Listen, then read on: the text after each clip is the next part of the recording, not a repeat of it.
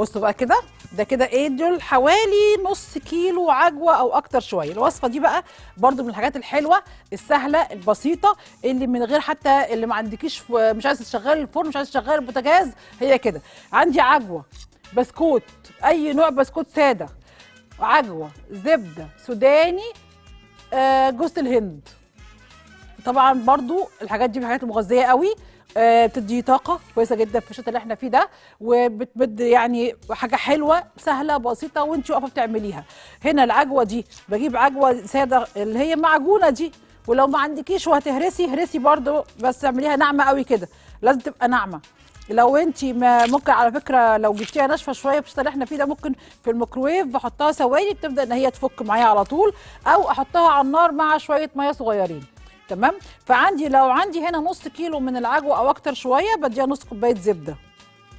نص كوباية زبدة برضو درجة حرارة المطبخ. ماشي؟ عاجنها معاها كده. هي كلها بتتعجن مع بعضها ما أي حاجة. كوباية سوداني حوالي يعني. طبعا أقل أكتر مش مهم. كوباية جوز هند دي الحاجات اللي بضيفها على العجوة عشان ما تبقاش العجوة مسكرة قوي ويقدروا ياكلوا العجوة من غير ما يتضايقوا من السكر اللي فيها. تمام كده؟ طبعا إحنا عارفين كتير بيتضايقوا من العجوة عشان مسكرة. كده طبعا وجود السوداني ووجود جوز الهند بتخليها طبعا بتمص كتير جدا من الحلو بتاع العجوة وتاكليها أو الأولاد ياكلوها في منتهى السهولة. وما يتضايقوش من طعمها خالص. وطبعا قيمة غذائية مضافة أكتر للإيه؟ للعجوة. العجوة طبعا إحنا عارفين فوائدها قد إيه. بس يعني كتير بيتضايقوا من السكر بتاعها. في ناس تحبها وفي ناس تقول لك لا سكر في العجوة كتير قوي فلا ما بحبهاش كده. أجيب بس ورق آه stretch كده. وده باكو بسكوت سادة من أي حتة أي نوع يعني. أجيب بس كده إيه؟ دي دي علشان إيه؟ ممكن تعمليها على كيس. لو مش عندك الورق ال stretch ده ممكن على اي كيس عادي علشان بس إيه؟ أنا الف براحتي فيها. أنا هوريكي دلوقتي أنا عايزة اعمل إيه.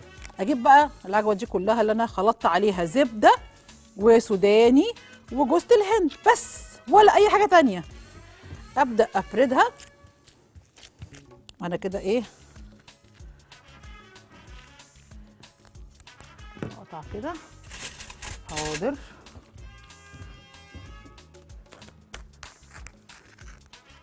واحط أوكي عليها واحدة كمان.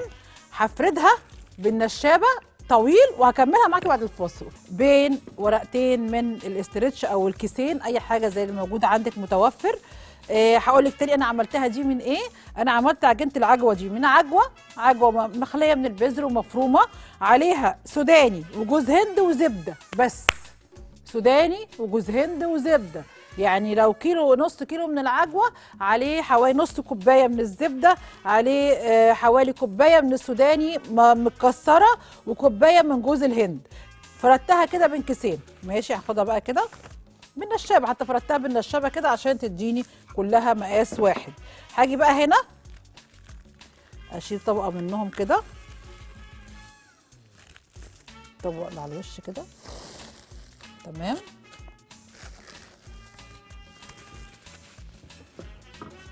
عندي البسكوت بقى أروح حاطاه كده.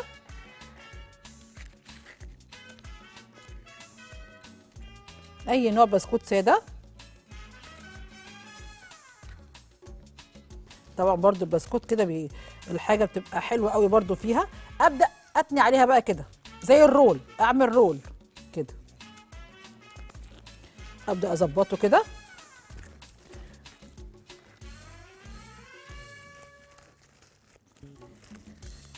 وارفعها شوية طبعا ما هي بتلاقيها ضخمه معاكي قوي لا اضغطي اضغطي كده فيها. وسويها. نطولها شوية ونخليها بالمقاس اللي إحنا عايزينه.